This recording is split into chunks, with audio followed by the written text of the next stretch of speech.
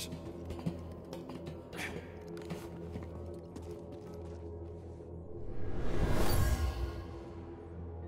Die Zerstörung erfolgte mit Absicht. Ich spüre noch den Hass, der dabei tobte.